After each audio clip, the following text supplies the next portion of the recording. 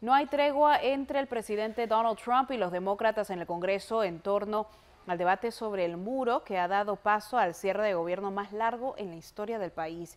Mientras tanto, el mandatario está a la defensiva tras otro reporte que da a entender que Trump pudo haber estado trabajando a favor del gobierno ruso. Randy Serrano nos tiene más. Este fin de semana el cierre parcial del gobierno se convirtió en el más largo de la historia del país. Ya va por el día 24 y las negociaciones entre el presidente Donald Trump y los demócratas en el Congreso no han avanzado.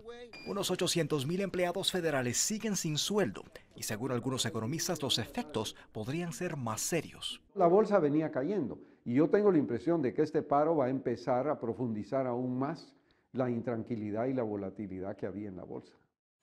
El cierre comenzó tras la insistencia del presidente por el muro fronterizo que los demócratas se rehusan a darle. La Casa Blanca está en la defensiva este lunes tras un reporte del diario New York Times que asegura que el FBI investigó al presidente Trump para determinar si él había trabajado a favor del gobierno ruso y en contra de los intereses de Estados Unidos.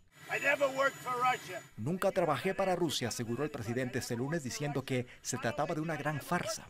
La conexión con Rusia no va a desaparecer, va a continuar y le va a perseguir todos los años que le queden en la presidencia.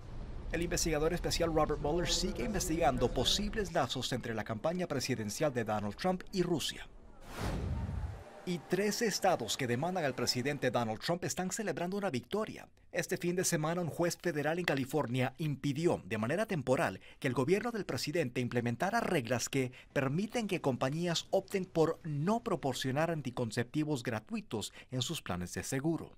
Las reglas entrarán en vigor en el resto del país, pero no en los tres estados que están demandando que tendrán que esperar que termine el caso para un fallo final.